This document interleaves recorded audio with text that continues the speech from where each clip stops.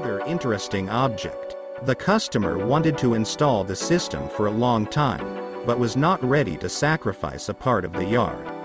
We offered a solution, a shed for milking machines, which was liked not only by the customer, but also by his pets.